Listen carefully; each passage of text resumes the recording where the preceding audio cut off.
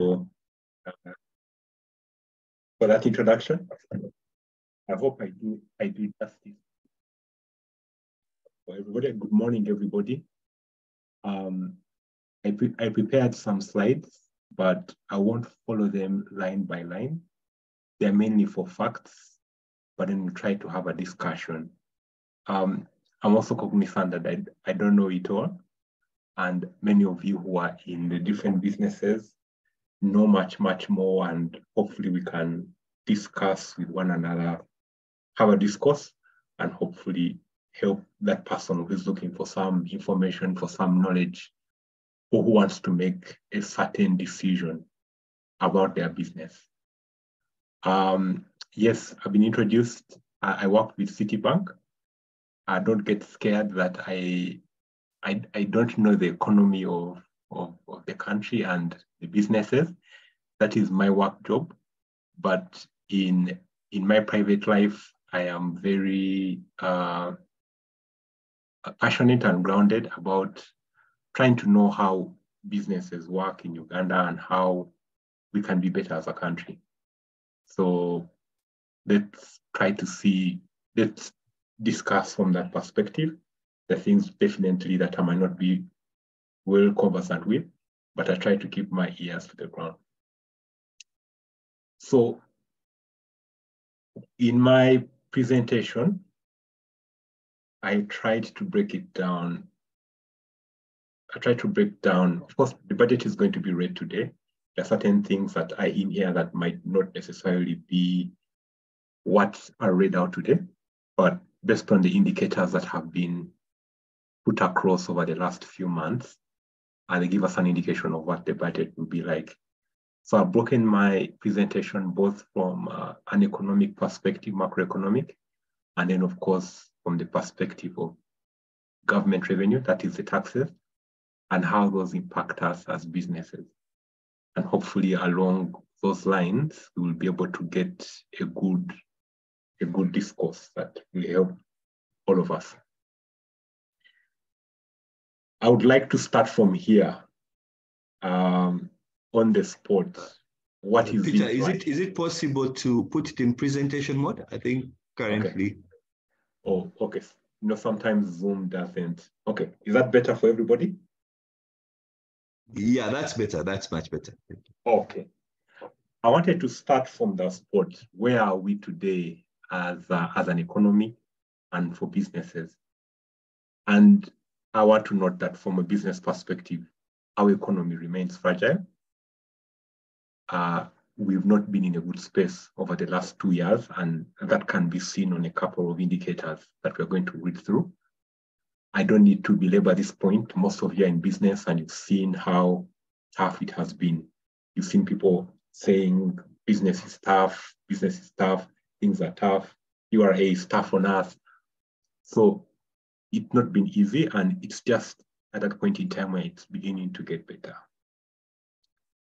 So right currently, the central bank, central bank lending rate, the CBRI, is at central, like a benchmark rate is at 10%. A few years back, this used to be at about 7, 7.5.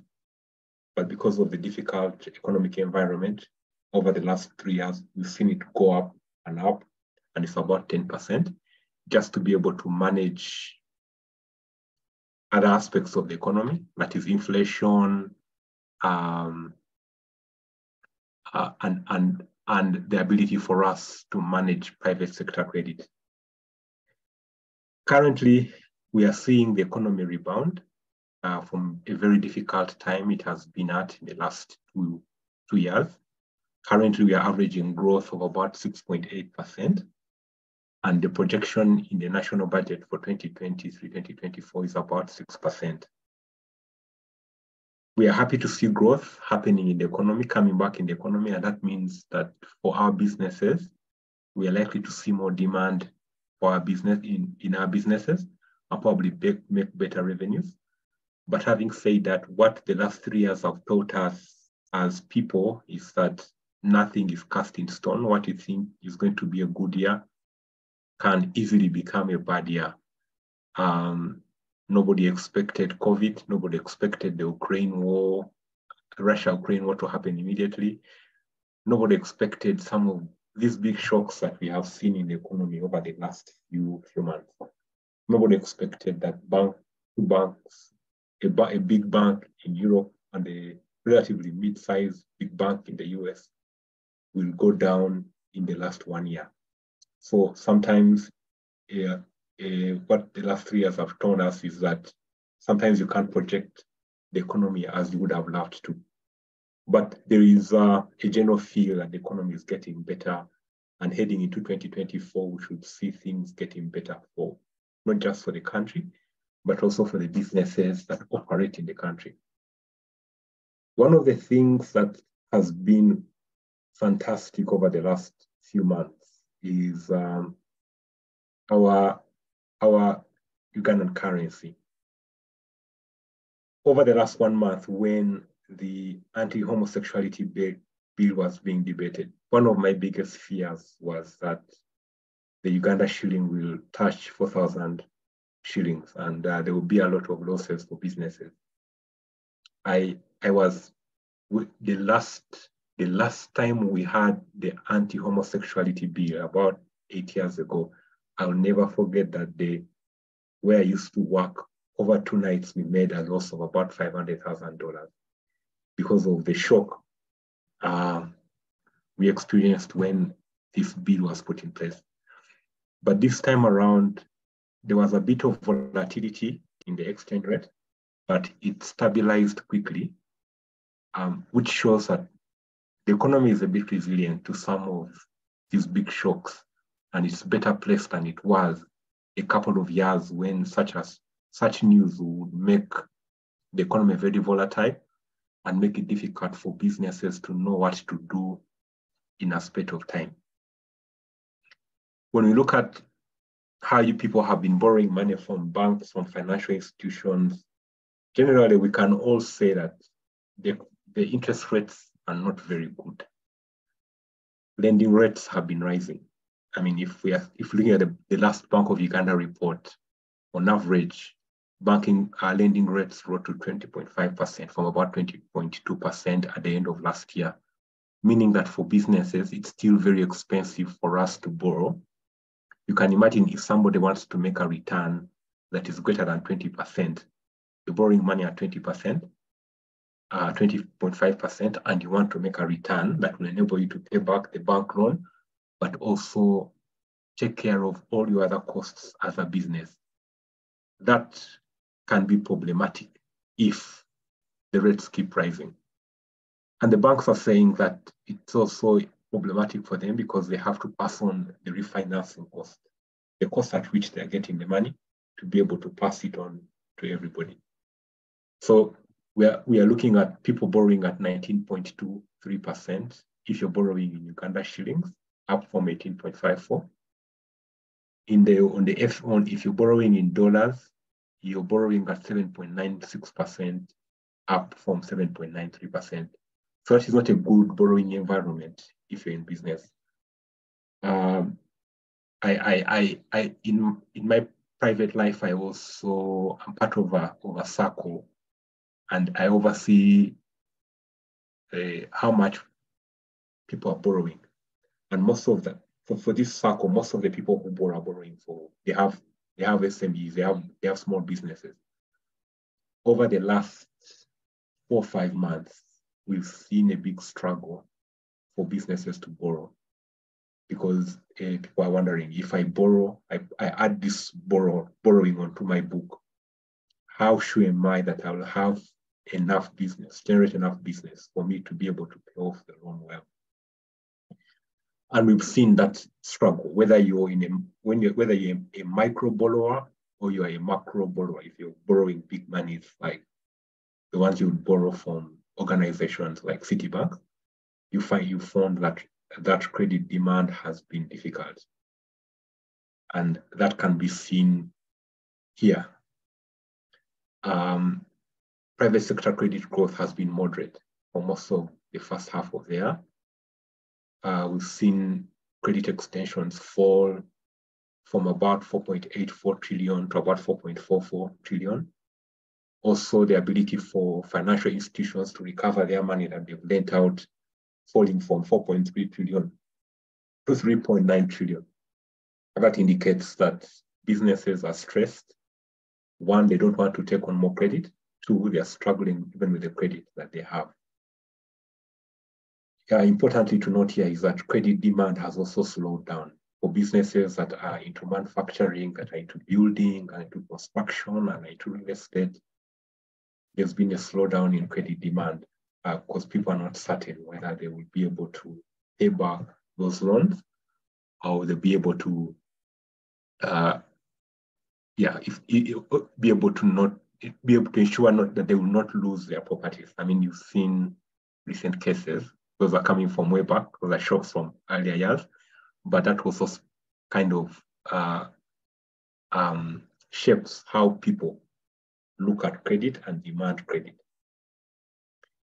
The interest rates, we've seen them fall over the last few months as government has been very keen to borrow externally, which is a good thing for us as businesses when interest rates, especially for government securities, are falling. It simply means that government is not crowding out the private sector from borrowing from banks. However, we've seen some volatility in the short-term borrowing for government. We've seen it volatile a bit. And we are also, in the next two, three weeks, four weeks, we are not certain that interest rates will go down. In fact, yesterday, I was speaking with a few colleagues of mine, and they were noting that the interest rates are going to go up because government doesn't have money. And the market is beginning to note and say, government, you don't have money and you need to close there. And if you want money, if you want my money, you're going to pay higher.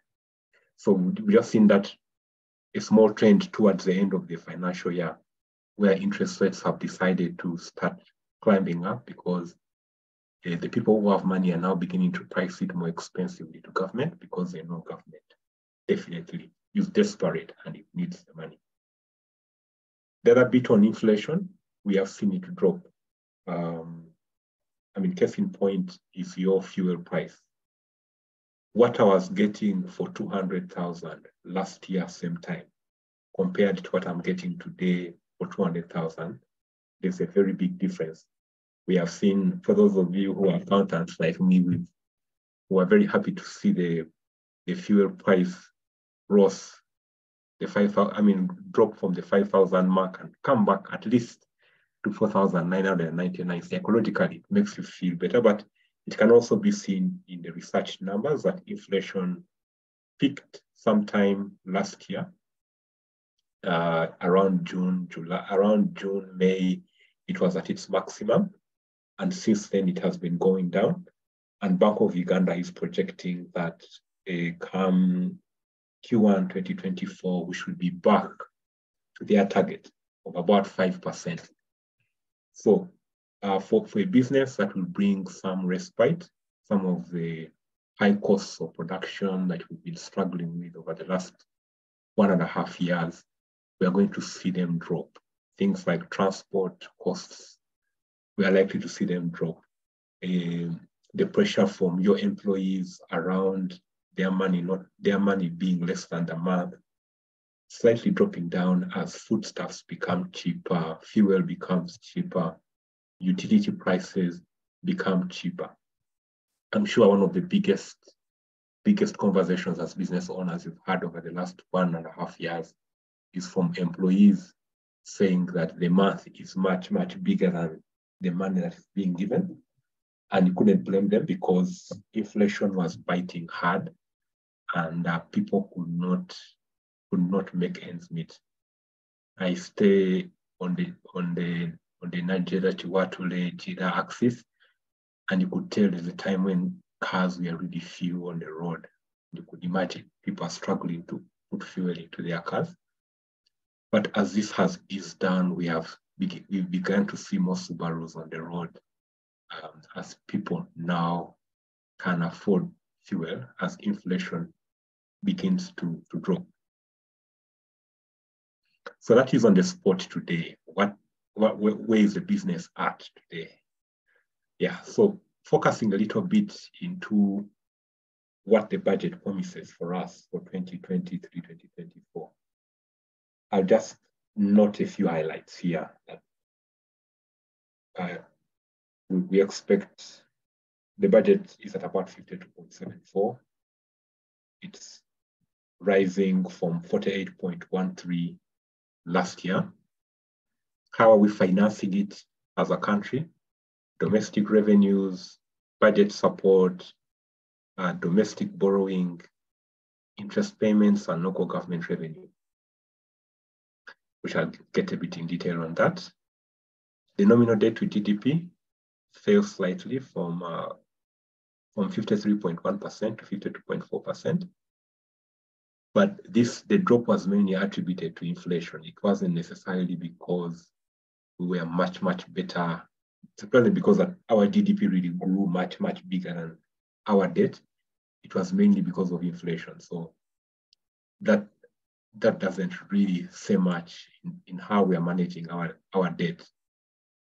Real GDP growth I've mentioned, it's anticipated about 6%, and this is going to be driven mainly by the service sector and expansion of the industry sector. We have beginning the, the service sector is beginning to grow again. To if you talk about tourism, talk about uh, some of or some of the services that are being provided, whether they are professional services, these are beginning to grow a bit from where they were about two years ago. Uh, if you're in the service industry about one and a half years ago, most of the people I knew who were in the service industry, they had their salaries cut just to manage through the difficulty, the difficult times. But now those are beginning to get back to where they used to be because there's some expanse in the economy. There is uh, there's also there's anticipation that the industry sector is growing. Though slow, there's growth in the manufacturing subsector. Uh, one, one of the things that taught us during COVID that import, importing stuff and saying that your business is run around importation is not sustainable. And many Ugandans are becoming wiser in trying to open up small manufacturing cottages, and those are being seen in our economy and they are, they are, they are spurring growth in the economy. Uh, there is this this bit. Uh, uh, uh, I'm not political, but I don't know how how how factual it is. I know it's in our it's in our budget. We are, we are saying that economic growth is also is also going to be spurred by PDM and Emyooga. I'd want to hear from people here on the, on the line. Uh, I'm, I'm skeptical about it, but I'm I'm I'm very I'm very positive about the fact that there's going to be a pickup in the whole sector construction activities uh, that will impact economic growth and also the pickup in regional trade and expected rebound in agricultural activities. These are expected to help the, the budget in, I mean, to help the economy in 2023, 2024 to become, to become bigger. We, when we look at the working age population, it is estimated that about 23 million of the total population, and these are the people between the ages of 14 to 64. Uh, the statistics show that many are involved in some form of work, but we, we all can agree that most of, of the working population in Uganda is underemployed. Uh, then, then we are not maximizing people's full potential to add to the economy. And that is something for us as business owners here to work together, I think, with government to ensure that the working age population is not being underemployed, but it's um, it's it's being utilized to its full potential. Uh, we see many graduates every year graduating, and that's why you find that in Uganda, as businesses, we get away with paying people low salaries because the supply of labor is much higher than the demand for labor. So what, in a nutshell, I'm saying that the economy, the domestic economy continues to recover. Uh, for many businesses, it can only get better. We've, we've seen the worst over the last two to three years. It can only get better. 2024 looks better. And as a business owner, we should look, we should look forward to it. Public debt, uh, there's a lot of, of talk about our public debt. It keeps increasing. 2020 it has increased to 20.98 billion. Uh, sorry, from 20.98 billion do, billion dollars to about 21.74 billion dollars, which is about 80.7 trillion. Uh, which also means that our the money we need to service the country's debt is also going up. It has increased by about 2.1 trillion Uganda shillings. And what are we saying here is that we are saying that the country is still committing a lot of its revenue to pay back its loans. Though what we can note is that the total public debt remains sustainable. I mean, if you compare it to even countries like Japan, Japan, the, the debt to GDP ratio is about 140%. So the debt is much higher than uh, the GDP. However, what those countries have that we don't have is that they create enough revenue to be able to pay off their debt. So my comment is that though not alarming in real terms, debt is always better managed if the country has substantive revenues. And it's questionable whether Uganda generates enough revenue to comfortably watch its debt servicing bill increase. It, it, it's sustainable, but the challenge is that we don't create enough revenues that will give you that comfort to say that we, we are creating enough revenues for us to pay off our debt and still be able to take care of other things that we have, other needs that we have as a country. Uh, and, and, and this can be seen. I mean, when we see the, the, the struggle we have with infrastructure, especially in the districts that create most of our GDP.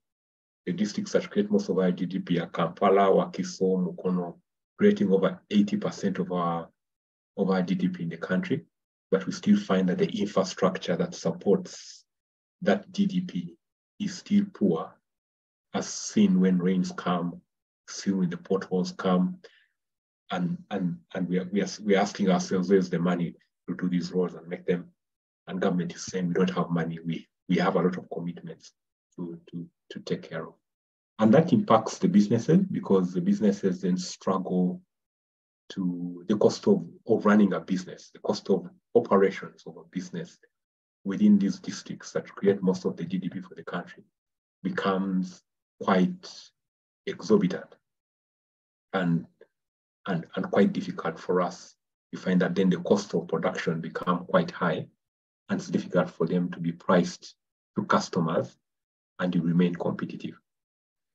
And also what it means is that when we have this big debt financing that we have to do, it puts pressure on interest rates because at a certain point in time, you see supplementary budgets being passed. These need money. Where is government going to get this money from?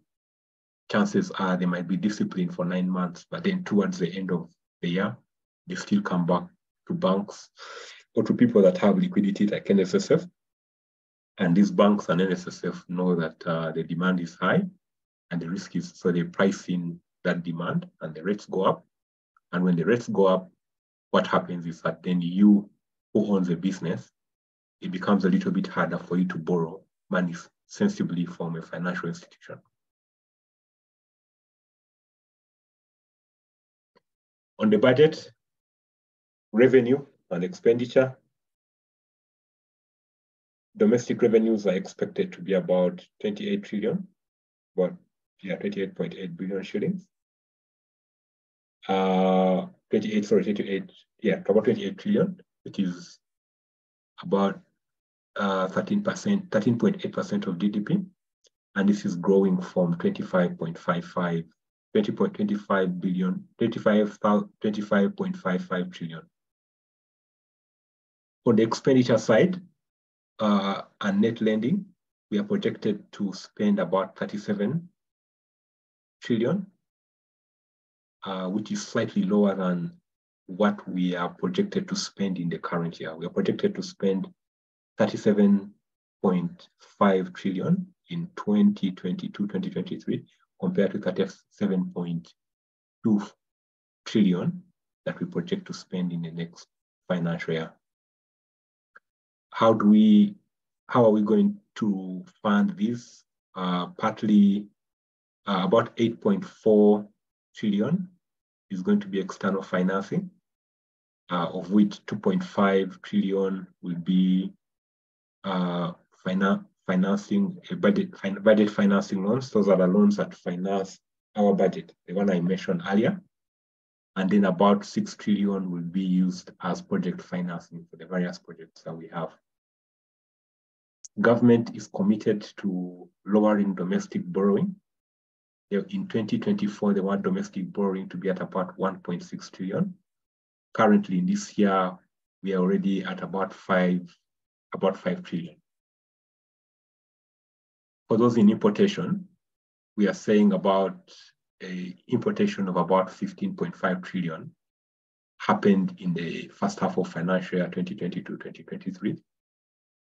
This still speaks to the fact that although there's a lot of activity around increasing the manufacturing space, a lot of a lot of the running of the economy is based on imports.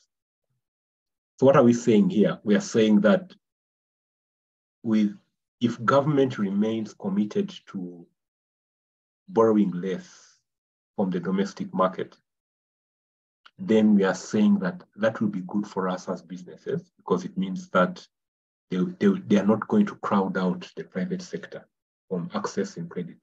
And if they can't crowd out the private sector from accessing credit, then the financial institutions will drop interest rates and we will be able to borrow at better rates.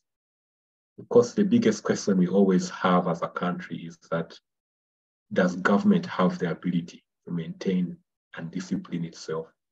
In most cases that we've seen over the last few years is that at a certain point they can't help themselves.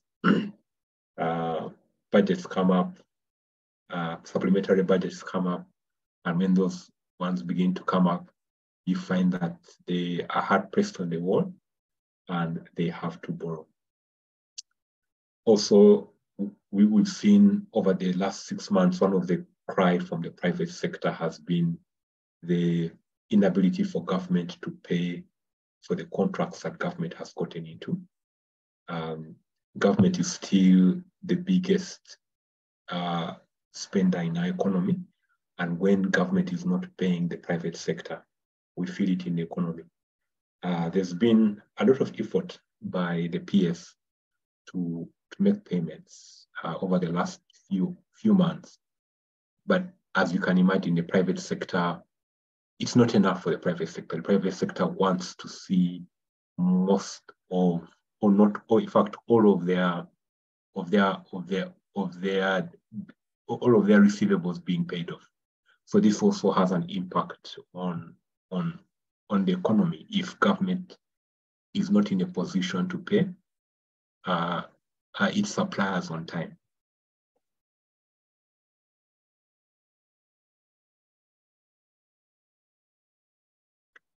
I also wanted to mention something on reserves and current accounts.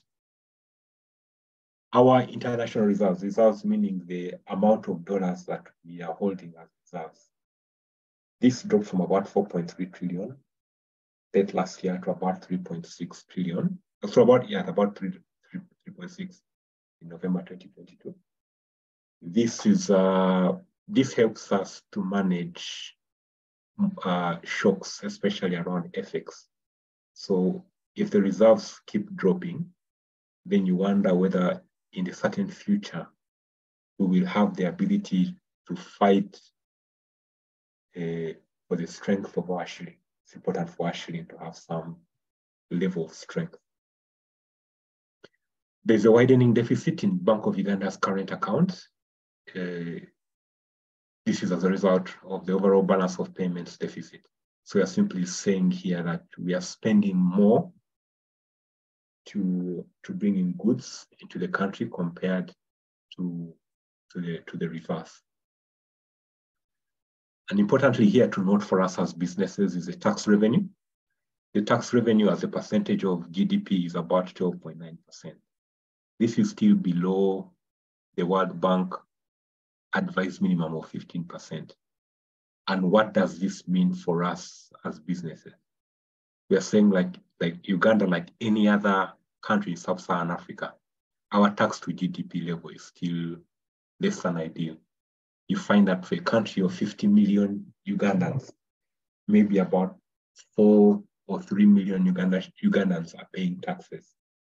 So the tax base is narrow, it's small, uh, and therefore we are not able to meet a certain standard for us to say our economy is collecting enough tax revenues to manage it.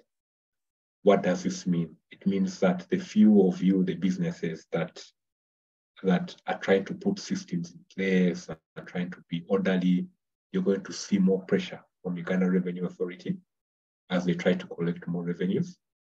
Uh, you're going to see more digitization of revenue collection.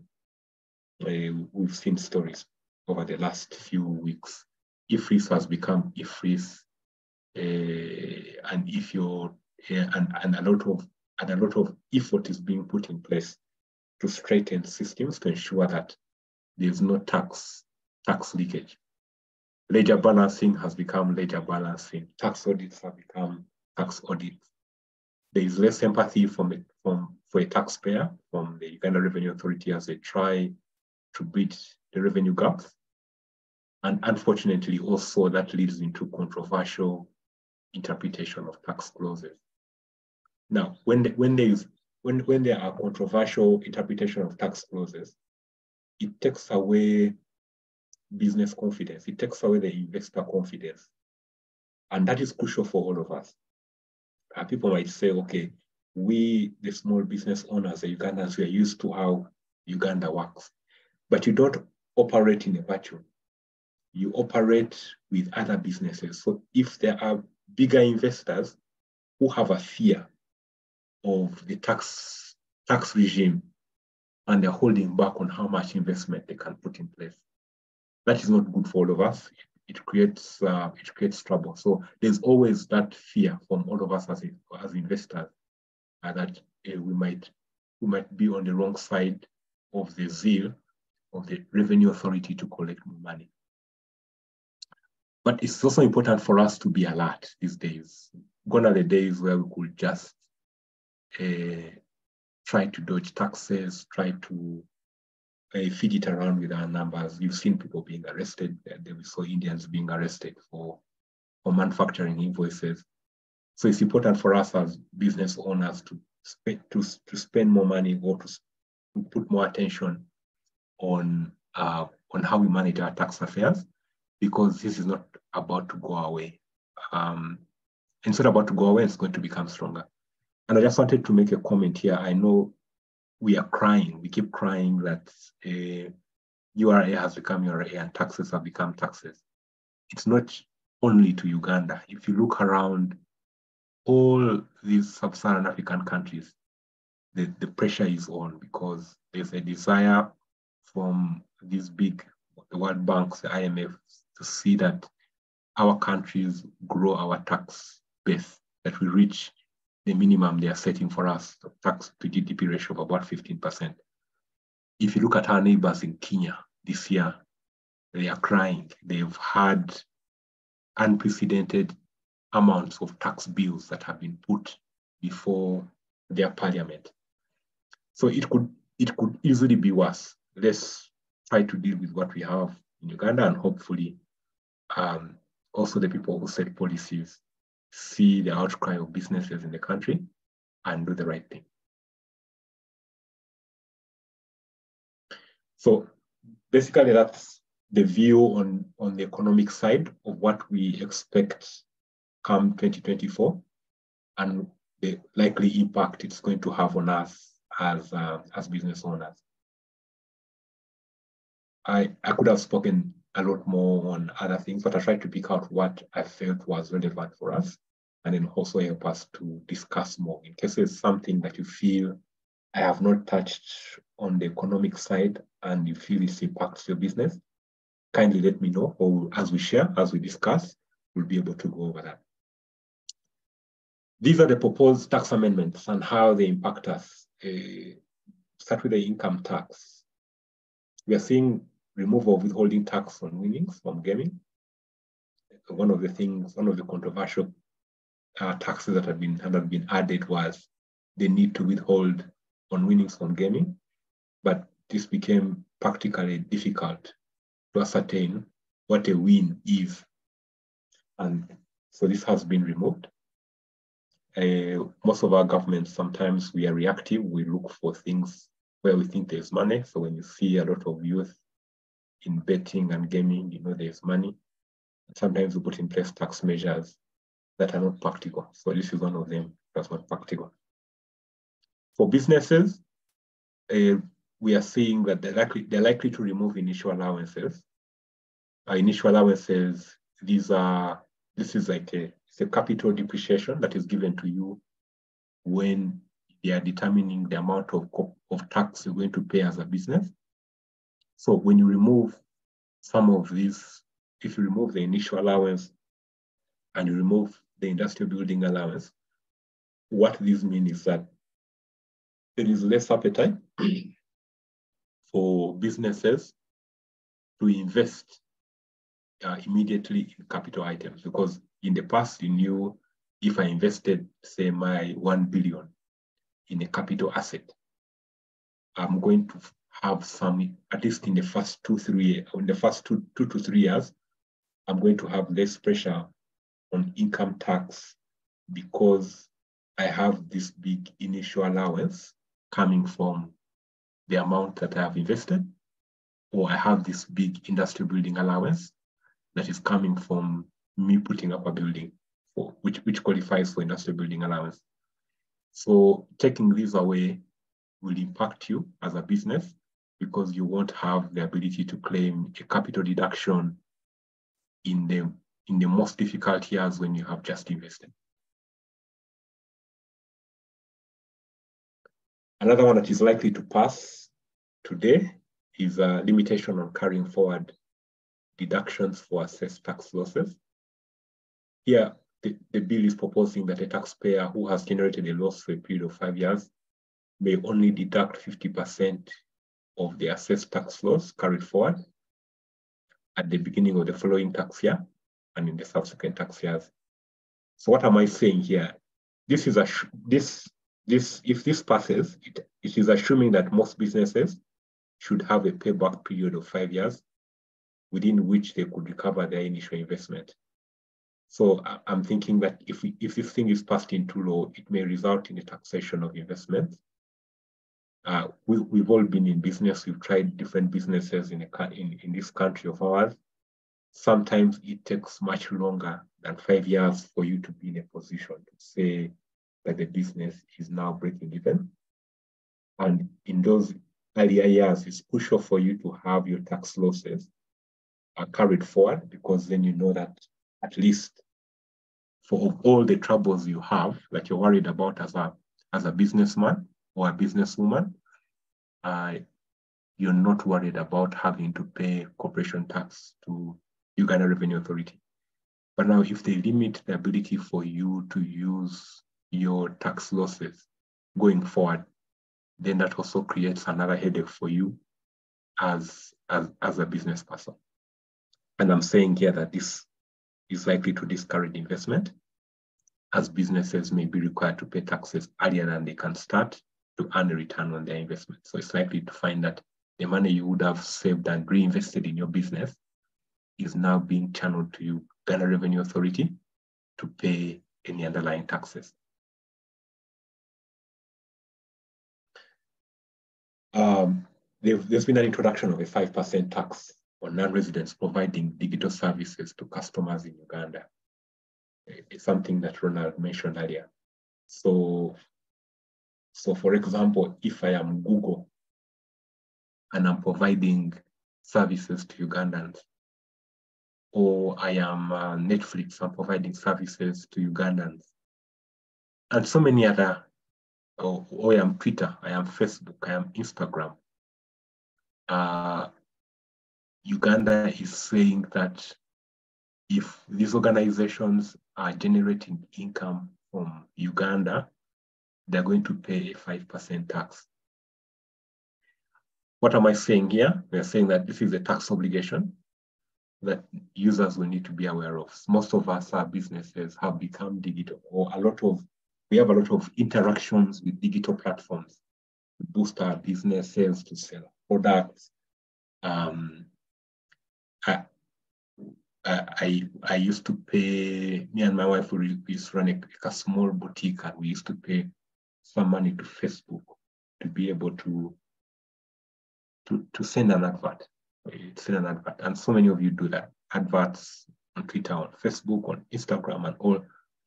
So what this means is that in the long run, your costs for you to be, to be able to advertise your businesses on these platforms will go up as uh, these businesses trying to re- try to recoup some of this tax that was that was not there in the past. So it will just make the cost of doing businesses the cost of doing business through digital platforms a little more expensive for you.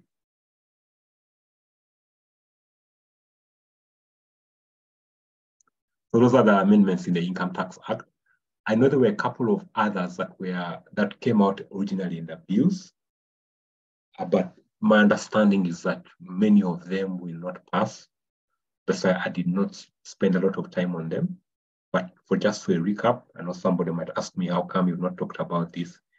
They wanted to to to put a tax regime around collective investment schemes.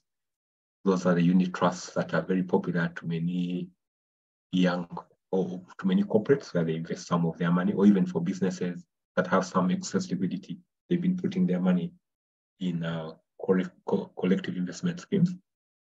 Uh, reliably, that has been fought by the private sector, and from the last we heard, it had been dropped.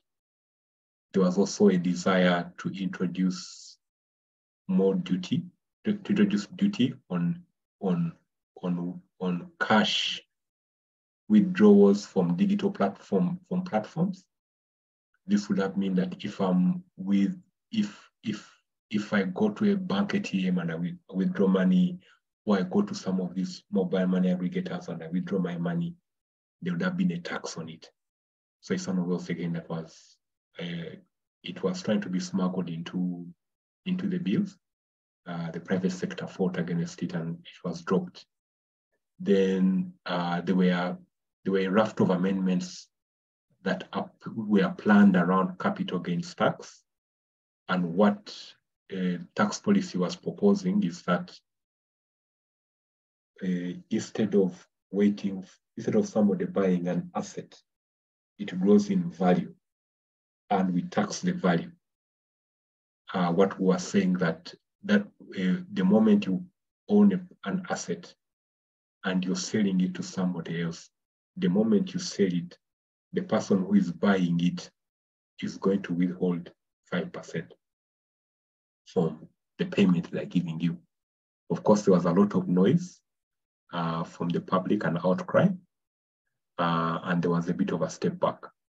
We are hoping to see that, uh, we are praying that this is not passed into, into legislation today. Oh, it's not passed in the budget, forcing it to be passed into legislation soon when it comes to VAT, one of the things they've introduced is sale by auction has been included as a supply for goods. So if if somebody is selling an item, for example, you have a car, you have a garage sale and you're selling off maybe your items, cars, you're selling off artworks and all. Previously, these were not taken to be standard rated supplies or supply of goods what is happening now is that they will be taken as as a, as a supply of good on which VAT needs to be accounted for. So what is the implication for a business here is that this will make auction goods more expensive, making them less desirable for businesses that like finding value from auctions. And a couple of you as businesses, you, you bought cars maybe from UN from, from various organizations from uh, during these auctions. Because now these will be taxable, they'll be slightly more expensive. Even you, when you want to sell off your goods through an auction, they'll be more expensive, so the demand could be less than you had in the past. There's also been some clarification in in the there's going to be there's going to be some clarification in the VAT Act around the eligibility criteria for business use or use in the business when ascertaining whether VAT input tax is creditable. So one of the things I, for those who own small businesses is that sometimes different assets, you might have assets that are not necessarily used in your business, but for purposes of taxes, you say they are assets of the business.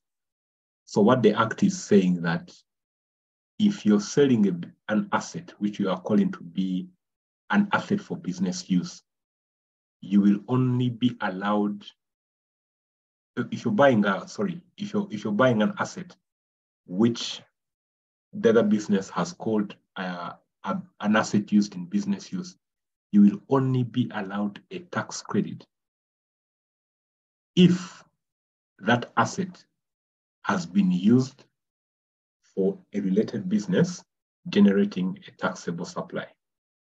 For example, if I'm in the car business and uh, maybe I sell you a house, it might be difficult to claim a tax credit if I cannot prove that the house in question that was sold by somebody who is in the business of selling cars was a house that was being used by the business in generating its revenues that it obtains from selling cars.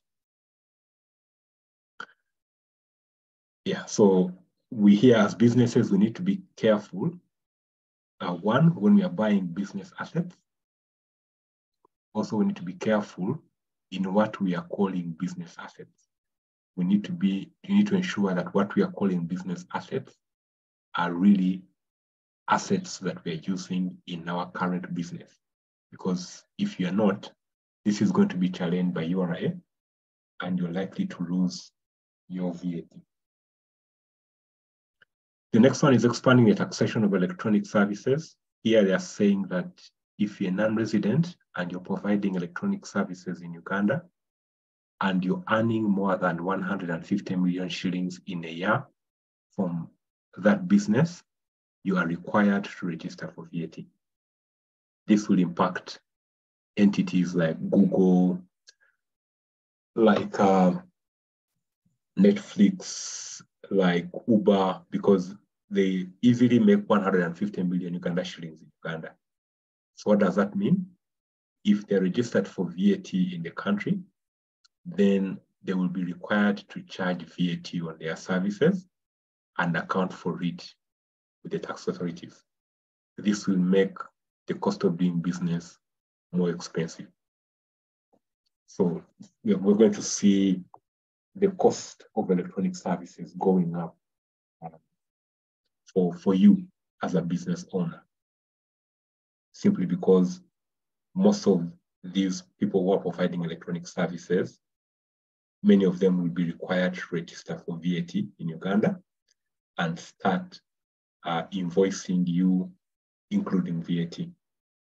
Uh, I'm just giving a, a related example. You've seen how it's not necessarily VAT, but you've seen how the cost of your DSTV has gone up over the last few months.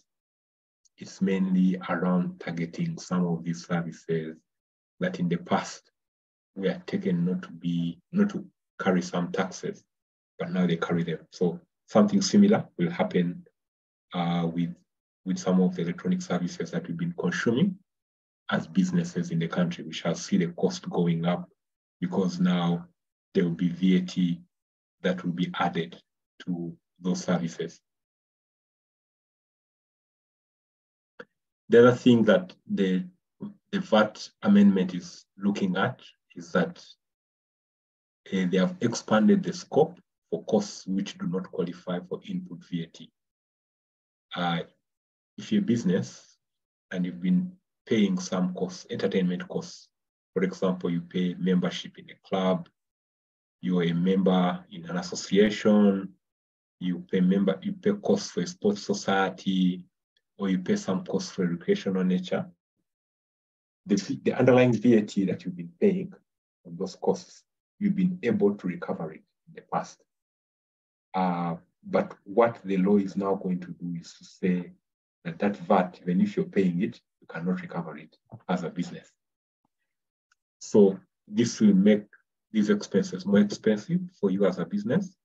And what we're likely to see are businesses may rationalize their entertainment budget. Because if they can't recover the VAT and making it more expensive, they are likely to, to rationalize how much they spend on some of these activities. Another clarity which they are both, they're bringing in the law, they're saying that that on the businesses that can claim input VAT will be those that generate a taxable supply. Uh, in the past, of course, you could, in some instances, you would claim input VAT on the premise that you're going to make taxable supplies. It's been made clear that the only person who can claim input VAT is the one who is also generating taxable supplies. There'll be a requirement for you to file VAT returns uh, if you import services and you're paying VAT, reverse VAT on imported services. Uh, this has been not very enforced, enforceable for, for people, for, for, for businesses that deal in goods that don't have VAT. I mean, that sell goods that don't have VAT. Uh, because they sell goods that don't have VAT, they were never required to register for VAT, and therefore they were not obligated to file returns. But in most cases, you found that some of those businesses imported services. For example, if you have your IT system coming from Mumbai, India, you are paying some money to Mumbai, India. If you had your internet or maybe your storage files kept somewhere, maybe again in, in India, you are paying some money. So, and URA was asking you to account for reverse VAT on your imported services. And that was it. But now they're saying that on top of you paying your reverse VAT on imported services, you will be required to file a VAT return similar to somebody who has been making uh, supplies that have VAT. What does this mean? It just means that there'll be an extra tax burden, an extra tax administration burden. I forgot the word administration. Maybe an extra tax administration burden for those who haven't been filing returns in the past. Another one, a controversial one, uh, that they want they're proposing to amend, the, the removal of requirement for URA to seek consent from a taxable person on the utilization of your tax credit. Currently, if you're tax, if where a taxable person's input tax exceeds output tax by 5 million, for example, the, the amount of, of, of input tax, the amount of VAT I have paid as a business compared to the amount of VAT that I have received as a business. If the, if the VAT I have paid is more than 5 million uh, compared to the VAT I have received, I had a right to go to URA and instruct them on how I wanted to use my tax credit. I could apply for cash, or I could tell them use it to offset my future VAT obligation. What the law is doing now is that there will be no need for you to give URA your consent on how they can use your tax credit. They will be able to use it against you. Again, they'll be able to use it for your business, for your good, according to how they deem fit. So for a business, this takes away your discretion on how to utilize the tax credit. And uh, because for us, as you as a business, you might you know your seasons, you know when you will have cash flow problems, where you will need to use some of the goodwill you have developed over the year, including your tax credit. So you know when you want to use it. But now, if they take away your right for you to use it when you feel like, I feel like I, I, I, I my, in my interpretation, it will impact your cash flow planning, especially for those businesses where your input tax in some months is high has been higher than your output tax. As I don't, I, I, I don't think it's good for business. Next, they touched some items in on the exemption schedule. We had that that big debate on diapers, uh, on, on on the adult diapers, on the on the on the young people diapers. The way the bill came out, the bill came out in a way that adult diapers will be exempt. They will only leave the other, like baby diapers, being subject to VAT. But there was a very big debate in Parliament.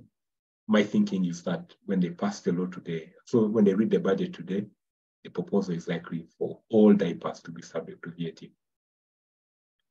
They, uh, to make concentrates and seed cake cheaper, for I, had we have a lot of farmers here.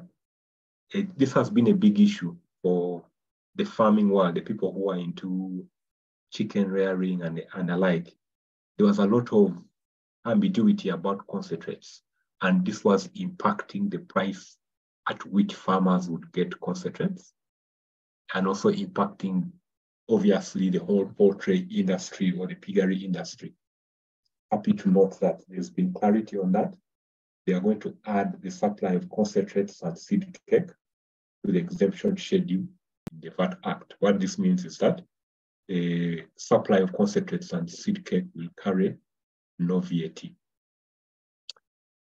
However, they have removed the supply of all production inputs into iron ore smelting from, from the list of exemption. They have also removed the supply of production inputs for processing hides and skins into finished leather products from the exemption list. I know there are a couple of cottage industries that are into the leather business, whether uh, making shoes, bags, and all kinds of leather products. This will be uh, in this will in doing areas with the current business setup. The cost of your inputs will go up as a result of the fact that they have been removed from the exemption list they will carry VAT. So they, in similarly, they have removed from the exemption list the supply of leather products only made in Uganda from exempt exempt supply. So the input has been made exempt, and so the output. It is all it is. Uh, I, I upload the tax policy for this because what usually happens sometimes in tax policy is that they make one side of the equation exempt while leaving the other side taxable. And when you do that, you've not helped a businessman. You've simply made a, the, the business more expensive. It's always good to look at both sides of the equation and you make them exempt, such that the person supplies as he buys them, they're exempt.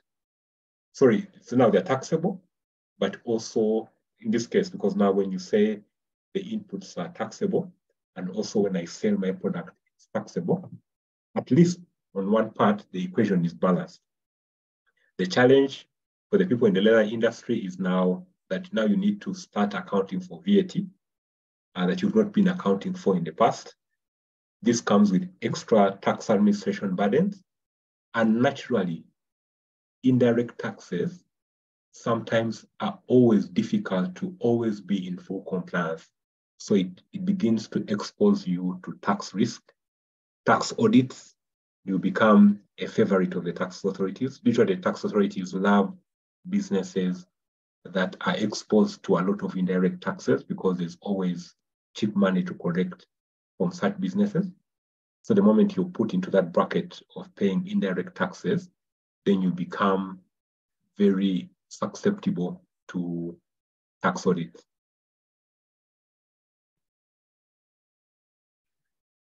Uh, excise, excise duty, there were there have been some definitions that have been uh, put in place just to ensure that products are properly defined for excise duty.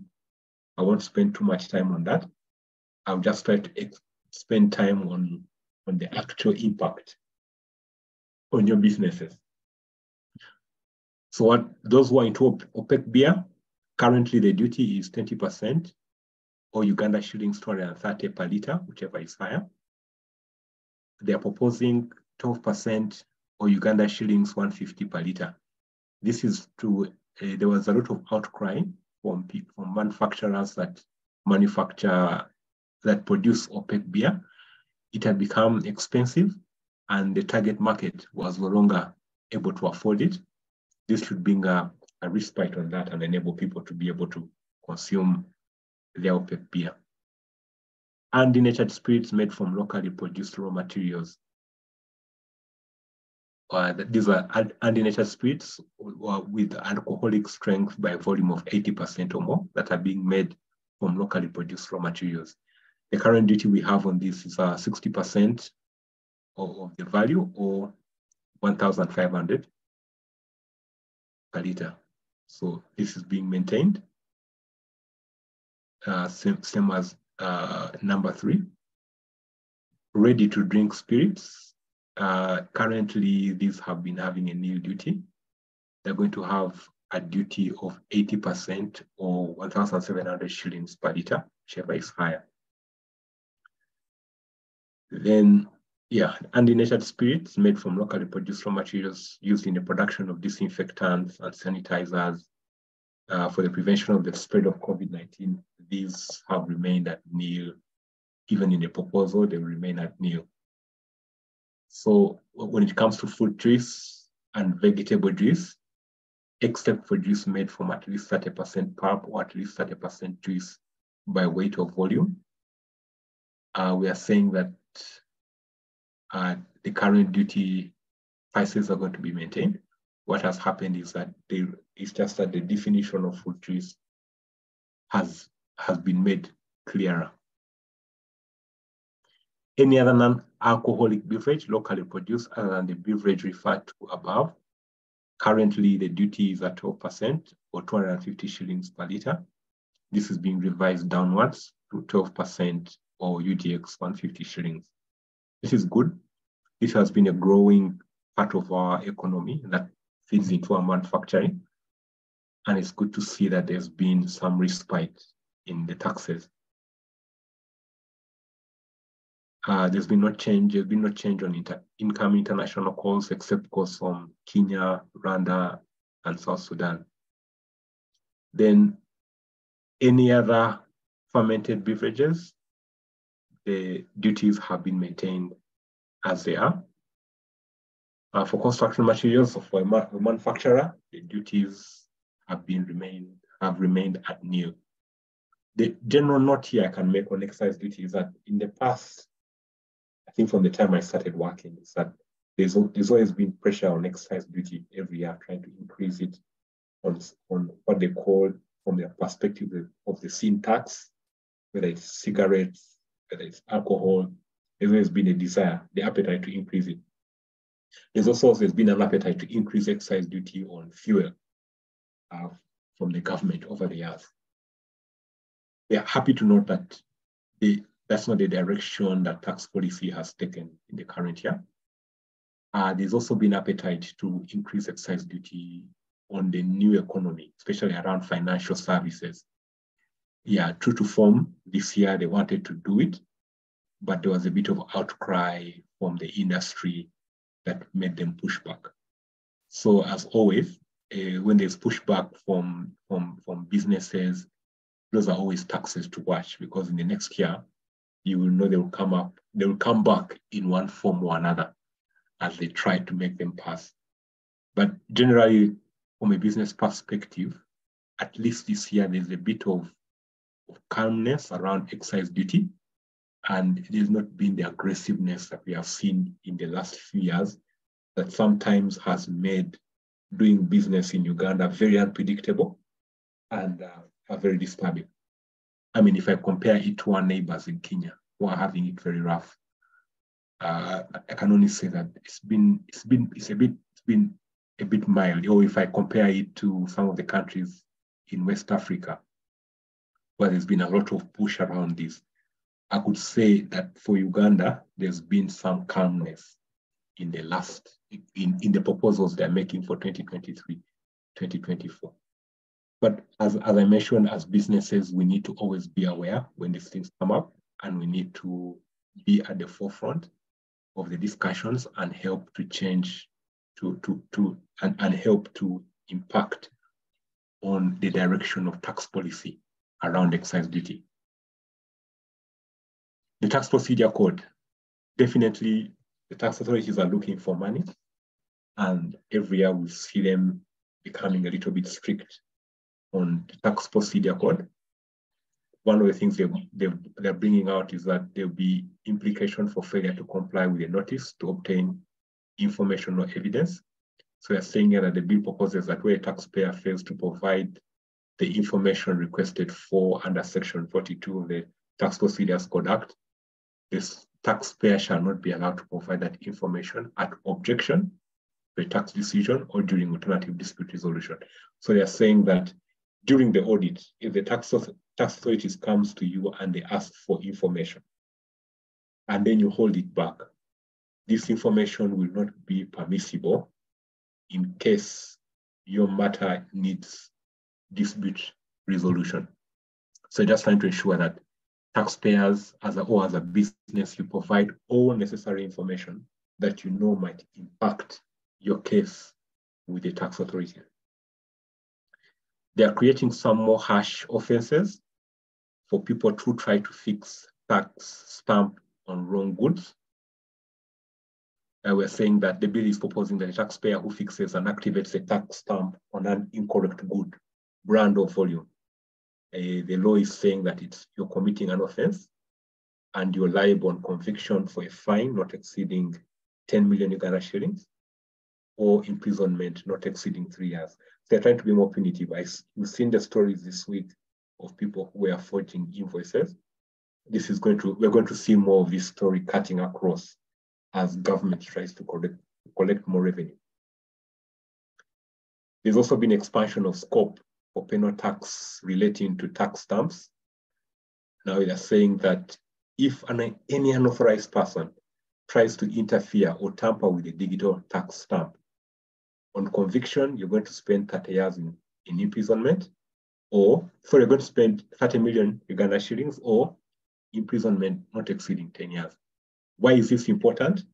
Over the last few years, we have seen Uganda revenue increase, Uganda URA being able to increase their tax collections, not necessarily because the economy has grown, not necessarily because they have created too many new taxes, but because of digitalization. When they introduced digital tax stamps, they were able to collect more tax revenues than they had been collecting before. So they're simply telling you, don't try to play with our bread. If you play with our bread, we shall be punitive. Then there's also been the waiver of interest accrued as of 1st July 2017 in excess of principal tax and penal tax. The bill is proposing that if there was interest due and payable under a tax law as of 1st July 2017, which was exceeding the aggregate of the principal tax and the penal tax, that interest is waived. This is mainly to harmonize the ledger reconciliation. All of you as businessmen as business ladies, one of the biggest nightmare you've had over the last one year or two years has been ledger reconciliation. You get like 10, 10 emails almost every week about somebody demanding tax because they, they think your ledger has not been reconciled. So I think there is there is a desire, there's an, a, a concerted desire to ensure that people's ledgers are reconciled and people are allowed to focus on their business instead of focusing a lot of time trying to, to reconcile a ledger. Then lastly, there's been some reform in the Lotteries and Gaming Act. The bill seek, seek, seeks to increase the gaming tax rate from 20% to 30% of the total amount of money staked, less the payments, the payouts for the period of filing returns. In Uganda, anything that shows signs of prospering, the government will want a bigger share of the success. So uh, the, the gaming industry is now a victim of its success as government has come to demand more. So if you're, you're involved, if you, you're invested in the, in the gaming industry, expect more taxes in 2024, 2023. I would like to stop there and hand back to Ronnie and see reactions from people. Uh, thanks a lot, Peter, for that submission. Quite a bit to swallow in one session, uh, yeah. but I guess that all of us on uh, on the call can agree that Peter has helped us kind of narrow this big thing called the budget into what it really means to each and every one of us. There are a number of messages coming through, uh, and and I think that they are powerful messages. I was uh, excited about what you said about excise duties, uh, the, the government going slow. I think it's a response and possibly a sign that, uh, that also government is listening to some of the cries of the private sector to be able to transform uh, their businesses and to grow. Uh, certainly the pressure is on. Uh, that last bit you talked about, the government hand tightening, I think at an individual business level, and I think Peter talked about it, it's very, very important to appreciate that in as much as the taxes may not change, the ones which exist, possibly you have obligations to them that you have not been uh, meeting. And I think that all of us have seen that uh, uh, the, the URA is coming out more to be able to, to, to make sure that the taxes that have to be paid, a fair share, is paid by every individual. So the, the, the, business community on the call, I think that's one of the important messages that uh, get in touch with, uh, with a tax advisor. We have a couple of tax advisors on the call and make sure that you, at least your taxes are in order. Uh, we have a few minutes, Peter, uh, and I'm just going to request that you allow us to take a couple of questions uh, from the audience. I'll allow those who can put up their hands to ask please do raise your hand and I'll give you an opportunity to ask your question. There are a couple of questions which have come through in the chat box and uh, I will I will read a few of those uh, as we as we as we also look look look forward to the ones which are going to come through uh, in the in in, in uh, uh, which are going to come through with the with the hands. So I see here we have uh, we have a question from um, uh, from Kennedy. Kennedy Kalunji, I think it's my OB. Uh, will uh, will the companies already carrying existing tax losses for the past seven years write them off?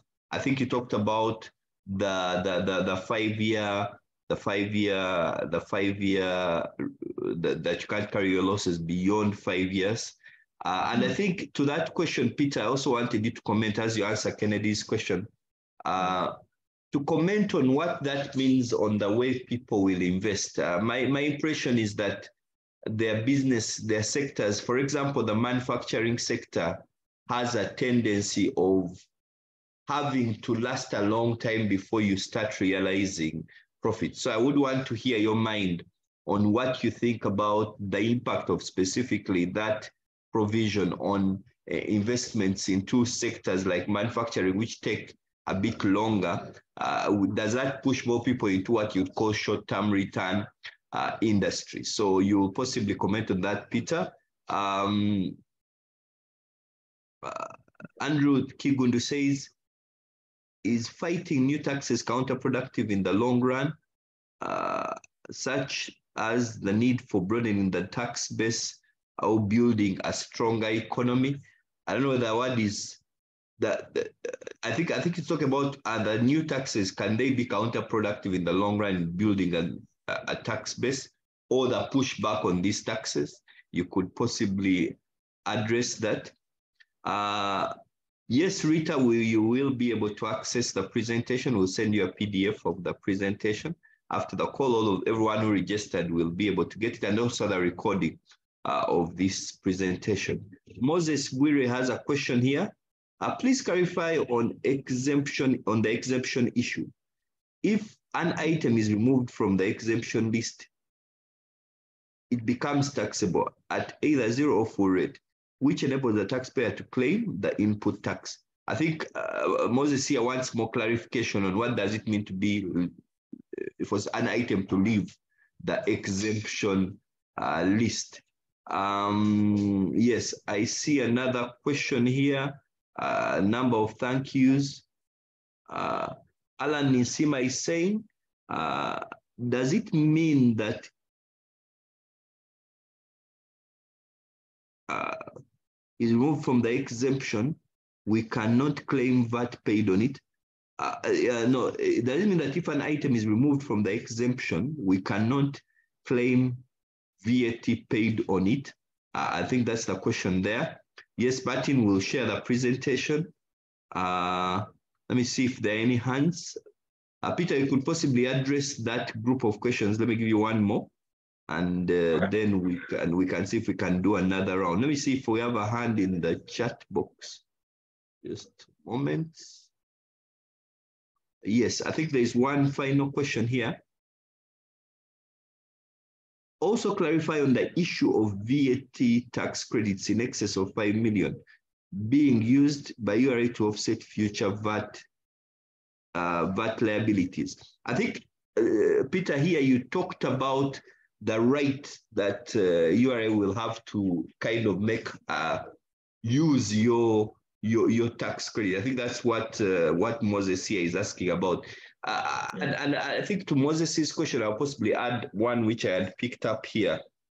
This question of who owns the tax credit? If the tax credit is mine, how can it be used without my permission? I, I wanted to know that. And uh, and for me, when you mentioned it, is this something, and possibly in your experience in other nations, is it something which can ex extend to my bank account? Because uh, you worry when and uh, something which you own, someone can use without consulting you. So that, that, that, that, that, that, that's something I wanted you to comment on. And possibly when you look at the region, how does that look like? Peter, you can take those questions and then we'll have another round. Okay, thank you. Uh, yeah, let, let me start with the ones that you read out earlier, then I'll, I'll go to the chat and try to address them systematically. The question from Kennedy on tax losses being carried forward. Yeah, if you've made losses for the last seven years and what's going to happen now. So they're saying that, okay, now come 2020 to 2024, uh, they're giving you a limit on how far those tax losses you've been you've been picking for the last seven seven years, how far you can carry them forward going going forward. In the past, our tax losses, you could carry them forward perpetually until the time you make profit. So what they're saying is that now going forward, that is gone. You will have a limit on how far those tax losses you've been carrying in your book can be carried forward uh, in, in your book. So they will make it a limit. After five years, they become uh, poter, like they say, and then you're required to pay taxes based on on your circumstances. Then this will also impact investment because like like ronald you've, you've mentioned certain investments take time and like manufacturing for you to be able to realize uh, taxable profits. And these tax losses act as a cushion for you to be able to uh, get to a point where you stabilize and, and make money. I remember sometime back back in the day when I was uh, when I was in an accounting firm, an audit firm, there was this this company we we used to audit. They were big time in manufacturing and providing providing goods that are very crucial to an economy. They had they were into pharmaceuticals and some other businesses. I won't mention them or for, for privacy's sake. But you can, this they, they had certain amount of tax losses that helped them for a period of about 10 years when they were not making profits. These tax losses were very handy in enabling them stabilize. And those are, those are things that give you an appetite for somebody to put money in uh, in such enterprises that take a while. So what is likely to happen is that we are likely to see some cooling off from certain investments that take some time to create taxable profits.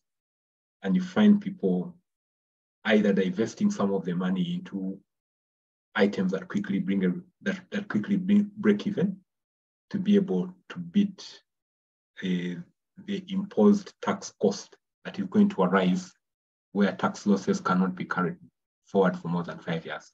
So definitely this proposal is anti-investments, especially investments that take significant time to bake. Yeah. Somebody is asking, Andrew was asking some ideas on how to create enough revenue. Any comments on climate change, drought and rainstorms creating more harm? Yes, if you look at the, the budget policy framework and what they've mentioned as how they're going to create revenue. I'll start from what government says and what I think as a, as a citizen of the country. They're focusing on certain things. Uh, they're focusing on uh, fiscal consolidation. Uh, they're focusing on enabling agriculture. They're focusing on enabling tourism. Um, forgotten the other two. There are about five of them. See, to enable us create more revenue as a country. Of course, infrastructure to create more revenue as a country, allow infrastructure to allow the economy to grow and create more revenue. Yeah. My thinking, yeah, my, my thinking uh, as, as me is that one, we need to be very, we, we need to be very, um,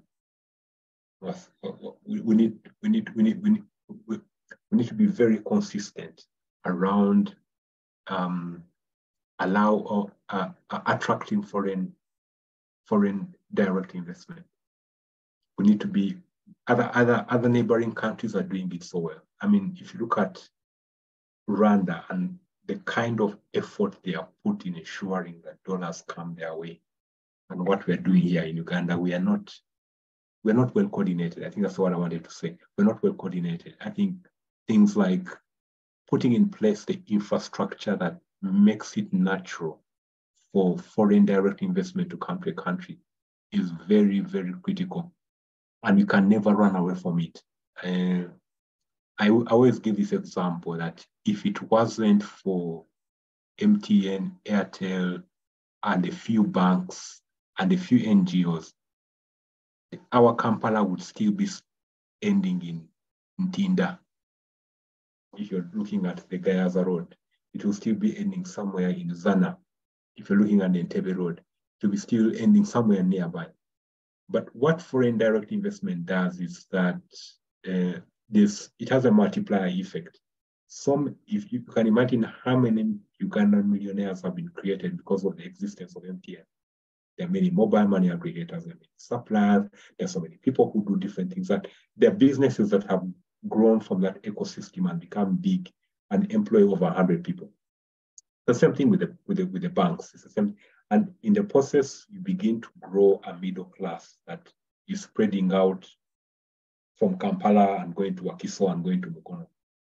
And unless we are deliberate as a country to, to do that, uh, we will not create enough revenue in this country. When you do, when you when you create, when you allow FDI to come, it also simply means that small SMEs will be able to grow. People will be able to start small businesses, knowing that the economy has enough economic demand, enough consumption, and these businesses will be able to thrive. Without that, then we cannot do much. I mean, you've seen people try all kinds of things in this economy, but as long as there's no aggregate demand in the economy, the economy can't can't grow. And we need, as a country, to be to be a little bit more surgical and say, okay, we need to focus on these things. What are the things that create aggregate demand in the economy? Jobs. And how do jobs come? You need people to invest in your economy. And when people invest in your economy, that spurs the local population also to invest in the economy. And when those two things happen, uh, we grow aggregate demand, which means that uh, indirect taxes grow, which also means that income taxes grow. So I feel like that is something we keep beating about the bush. We talk about roads, we talk about uh, quoting in, quoting people to come and invest here, but there's no clear strategic direction as a country to make it happen. Yeah. On climate change, um, yeah, definitely. We've seen that in the last two years. Food inflation has gone up because of the climate change that we have seen in the past. And if you look at the Bank of Uganda monetary report, one of the things they've always maintained quarter each quarter is that yes, they are optimistic the economy is going to grow, but they're also pessimistic on the fact that there are external shocks that might impact it. And some of these things are around climate change and how these impact the agricultural uh, uh, uh, supply chain. So these are things that we, we, we are to live with as a country, unfortunately. Um, and this will always impact our agricultural output. And if our agricultural output is impacted, we see that impacting uh, key macroeconomic policy. It impacts inflation, prices, it impacts the cost of doing business in the country. So it's something to watch out for, as has been highlighted by, by Bank of Uganda. Uh, this thing about reducing tax leakage does not increase tax base. Is URA doing anything innovative in that direction? Unfortunately, URA, no. URA, in my, in my view, they're focused on meeting their targets. Uh, and, and for them, that's their battle. On one hand, you can't blame them because they have targets on their head. There's nothing there. They, they, so they focus on what is there and they try to do it. But one of the things that I'm involved with in my other life is we're trying to push and say that let's come up with a clear tax strategy as a country. We, we can't keep running the country like the way we're running it, knee jerk. See something growing, we try to tax it without uh, holistically looking at its ecosystem. And this is something we're trying to push that we need to reach a point where, as a country, just like we have strategies for so many other things, we have a clear revenue uh, increasing strategy that looks at something, researches it, and comes up with a policy that enables us to grow the tax base. Currently, what we are doing, this is my view, uh, people might have different views, but what we are doing currently is knee jerk and it doesn't help anybody. It's just impacting businesses more and more. Yeah, and there's only much tax leakage reduction can do. It will work for the first two, three years. Uh, I, I, have, I, have, I have been a finance officer before. And one of the things you do when you when you're a finance officer is you want to have a big profit. What do you do? You try to minimize costs, costs, costs, costs, costs, and you do it for two, three years, and everybody is happy about what you've done. But after some time, it begins to bite. There's only much you can do. You need to design strategies on how to grow the, revenue, the top, top line for you to remain competitive. And that's what we need to do. It's not just a matter of URA.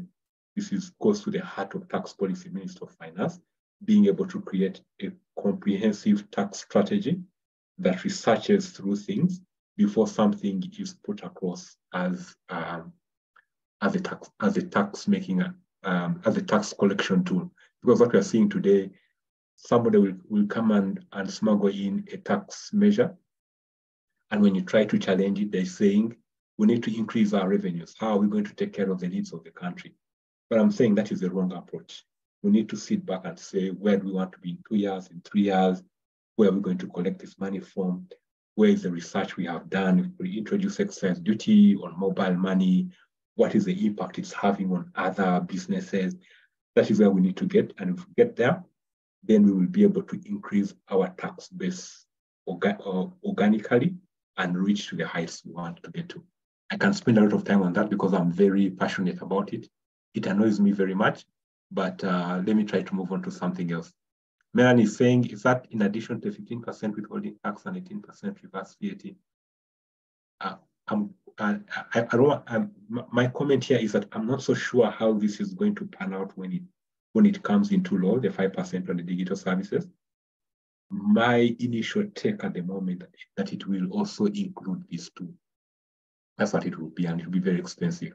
But let's see how the modalities will come out. I can't really comment on exactly how this will work, but um, this is what it's looking like. Unless there's, if there's somebody here from uh, tax policy from URA who can throw more light on how digital service tax is going to be um, meted out, please add your voice to it. Yeah.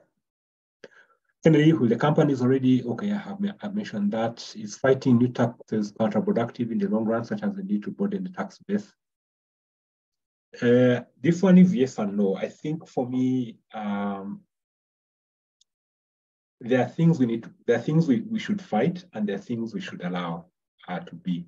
But I think for me, the most important thing, even before we come to the fight, is do we have a, have we done our research? Have we done our have we done our research? Come out and said, if we introduce this tax measure, these are the pros and these are the cons.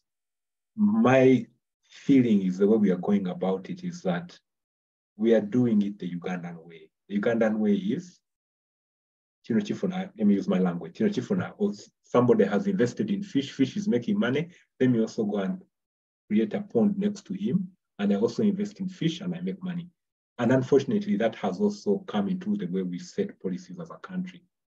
We try to, we see, we see people uh, transacting on mobile money. We say, ah, these guys have money, excise duty, without thinking about it, without doing the research necessary to say, okay, if I introduce excise duty, what am I killing in return?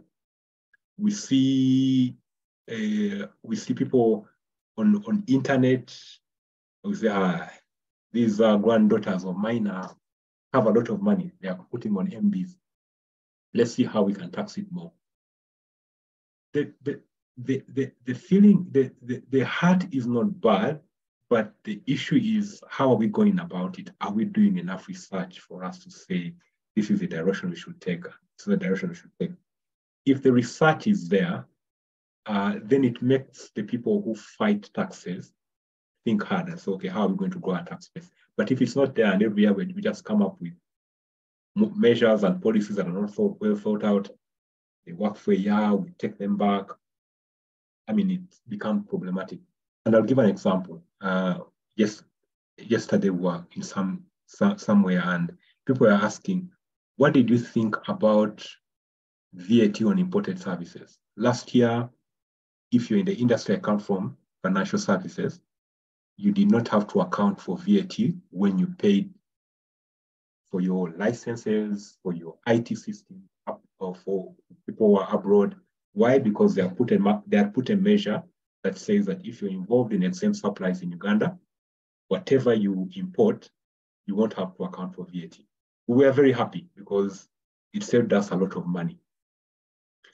But even me as a person in the banking industry, I, I, I said, I looked in the one year, did it make the banking industry better? No, it didn't.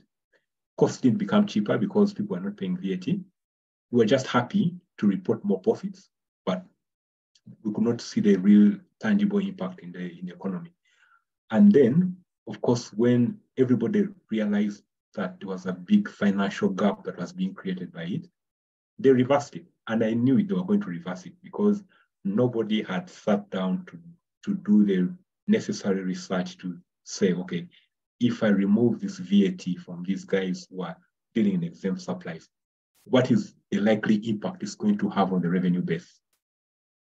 We just listened to the pressure that was coming from a few manufacturers. We went to with a policy, we put it in place, and then one year later realized that we had we had actually made a mistake to do so. But this would have been avoided if people had done their research and come up with a clear strategy.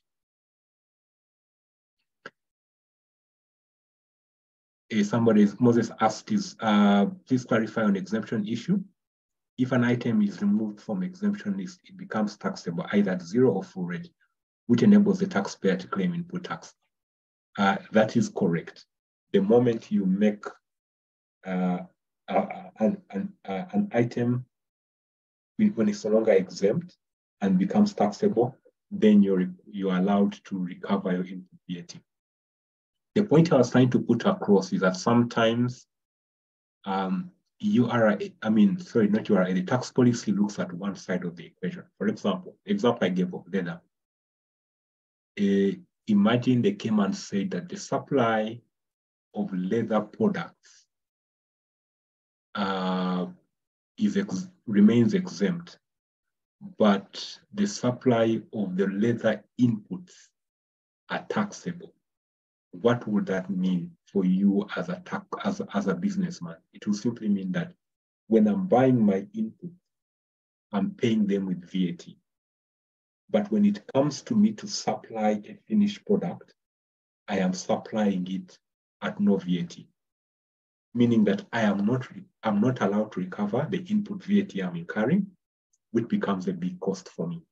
So, yeah, but if tax policy looks at the whole equation like they've done for leather, they've said we are removing the exemption on the input. So when when I pay for VAT, when I pay VAT on the input, I'll be able to offset it when I sell my leather products because my leather products are also VATable and I'm allowed to claim input VAT.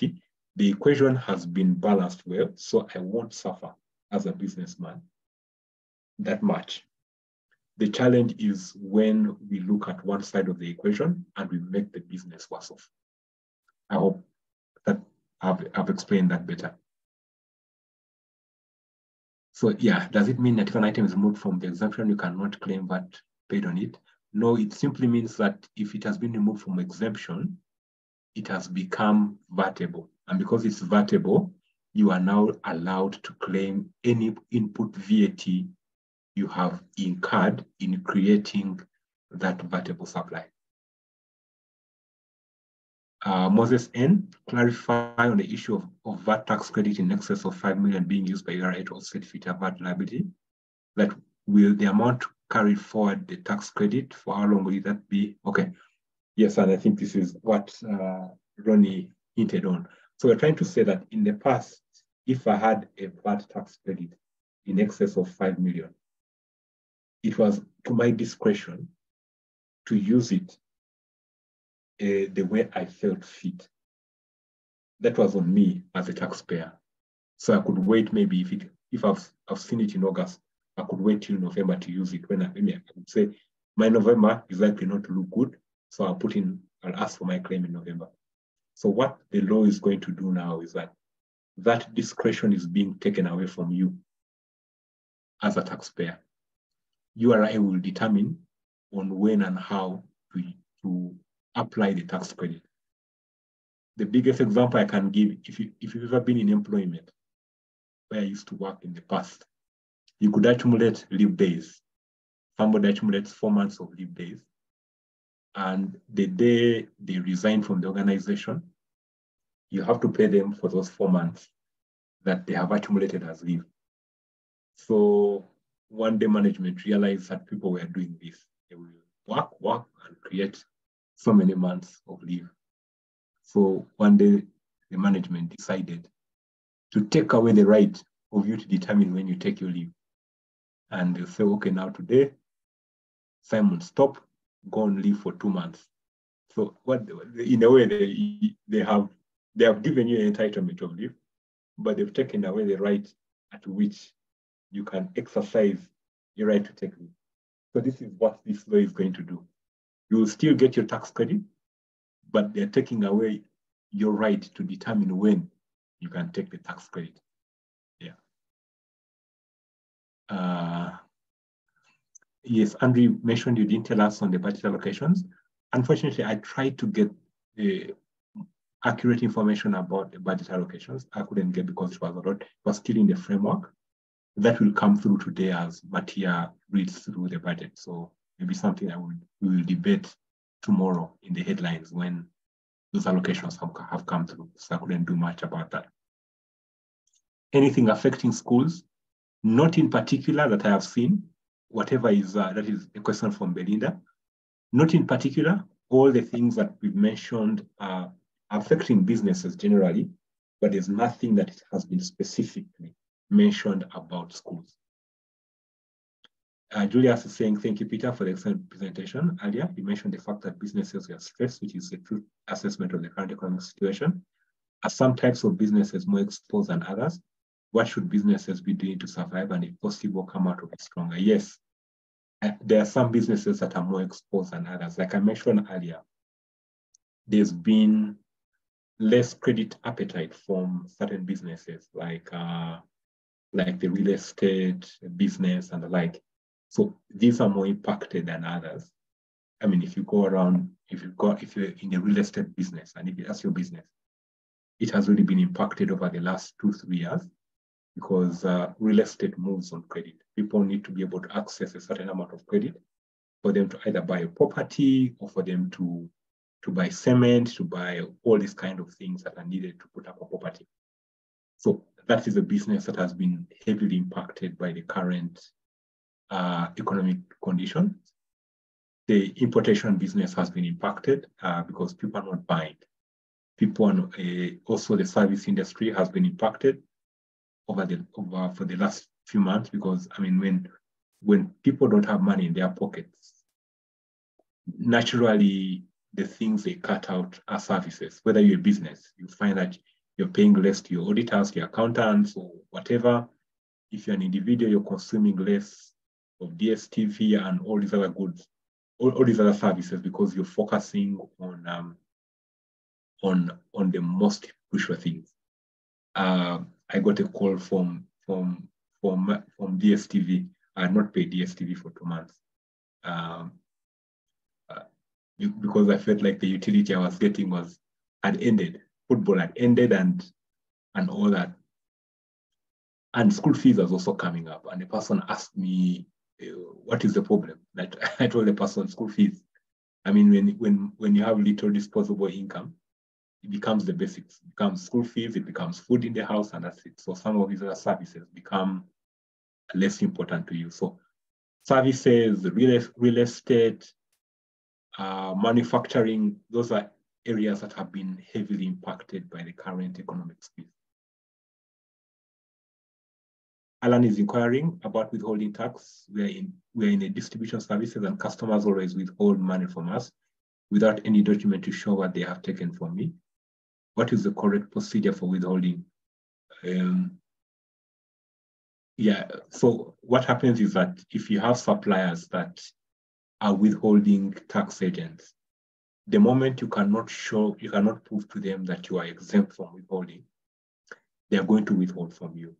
But it's also your right when they withhold from you to ask them for evidence of that withholding from you so that uh, at the end of the year, you're able to claim your tax credit. So it's your right to demand from anybody who has withheld from you details of what has been withheld from you, including a tax credit, a tax credit certificate. Melanie is asking, in addition, if some of those companies like Google are registered for VAT, does that mean it will be a double payment? Or one of the supplier will only do withholding? So if Google is registered for VAT in Uganda, what that means is that they will now be providing services like any other Ugandan company. So it will stop being an imported service. So you only have to account for VAT like you would have uh, you would have accounted for VAT for any other local vendor making supplies to you. I hope that clears that. Uh, and if they're registered in Uganda, then the the service they give to you, this service they give to you stops being an imported service for which you don't need to account for reverse, I mean, you need to account for withholding tax. So now they become they become resident. Joseph is saying the knee-jerk reaction is unfortunately driven by the desire to hit collection targets and you're right, there is need to have a better comprehensive tax policy. One of the drawbacks of the current policies is mainly driven by the revenue enforcers and is skewed. I couldn't agree more, Joseph. Uh, this is something I can chat about the whole day. Uh, yeah, there are things we need to improve as a country if we're going to be serious about growing this country, growing the revenues of this country. There are certain things we need to be serious about and stop being reactive and become proactive.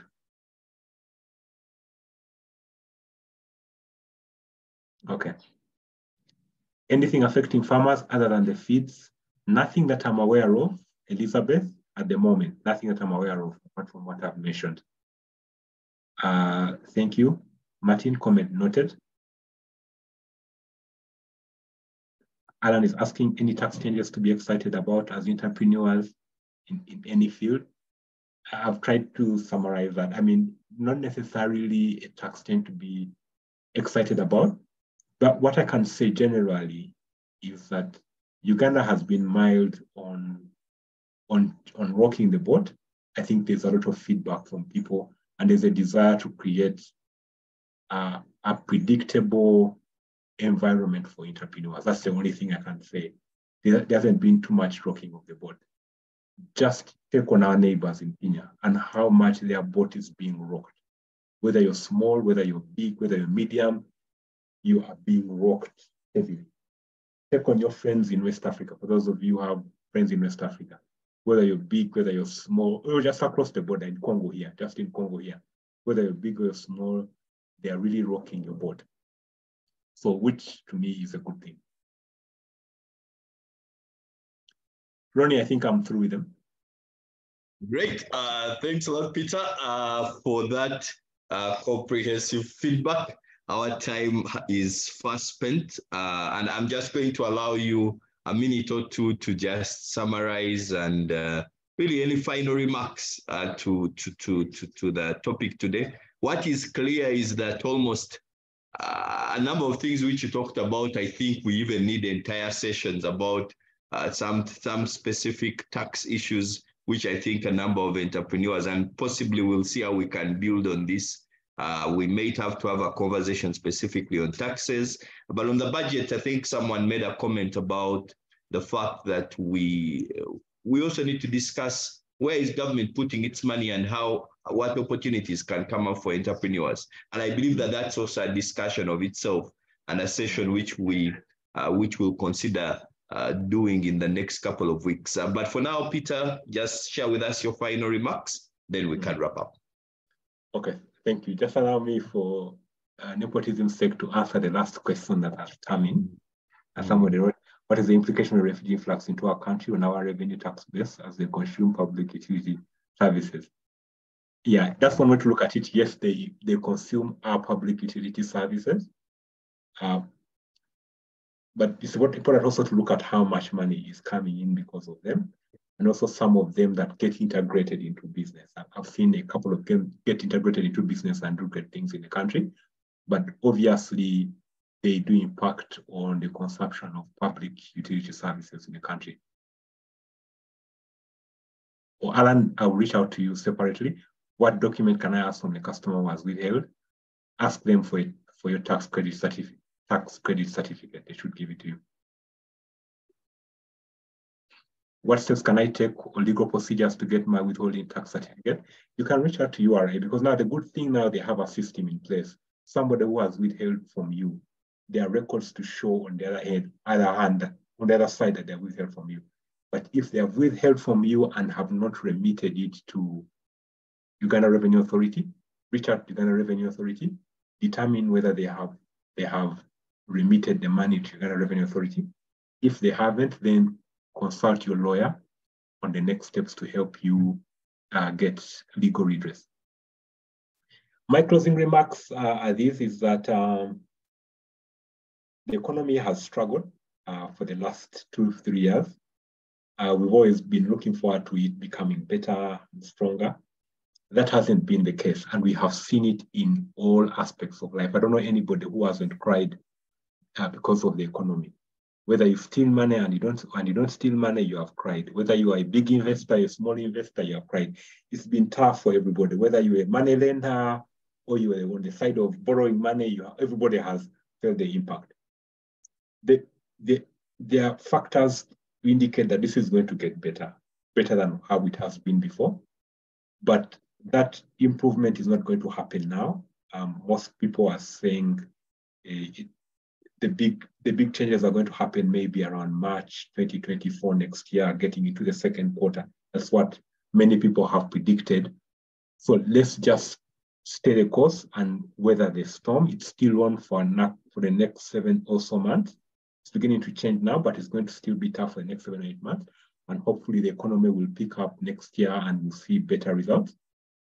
Uh, yeah, for on the on the on the revenue side, on the tax policy side, um, there are measures that have been put in place, and in my opinion, they could have been worse.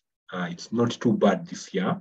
I think what has been critical this year is that there's a lot of information flow to people uh, such that there's more accountability. I'll give an example. When people try to sneak in certain tax clauses around this time, people were very alert. And people went out, they reached their MPs, they reached out to whoever they could reach out to to manage that process. Uh, and for me, it's something positive about us as Ugandans that it's no longer us just making noise on WhatsApp, making jokes, but actually there are a critical number of people who are saying, okay, wait a minute, we're not going to allow people to just take us by surprise. For granted, we're going to push back. And that pushback is helping us to create some level of sanity around how we come up with our tax policies. But the overarching need for us is to sit down and have a proper tax policy strategy that is going to help us grow in the foreseeable future. We can no longer afford to be knee-jerk like, we, like we've been in the past. Super, super, super. Thanks a lot, Peter. Uh, I guess as you have rightly put it, uh, it is a continuous journey for the the country needs to grow. We need taxes to be able to grow, but equally the institutions that generate those taxes are the businesses which you, the listeners, run. And the success of those business is at the center of the success of this entire budget and the success of the growth of the nation. So I guess it's a continuous conversation. I like the fact, Peter, that you mentioned that a number of people are watching out, making sure that there is pushback, there is advocacy to make sense. And Peter mentioned earlier about some of the, even the proposals in the budget, which were striked out earlier. But that pushback is important so that we can be able to get the best cocktail for the growth of our economy and our country as a whole. Peter, thank you so much for sharing with us today. Uh, send our greetings to the Citibank Group and your family. I thank them for giving you